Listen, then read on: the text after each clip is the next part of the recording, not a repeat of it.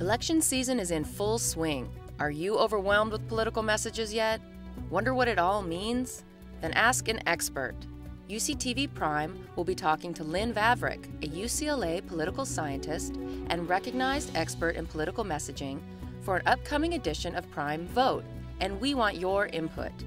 Submit your question for Professor Vavreck as a comment on this YouTube video or email it to prime at uctv.tv by March 21st at noon Pacific.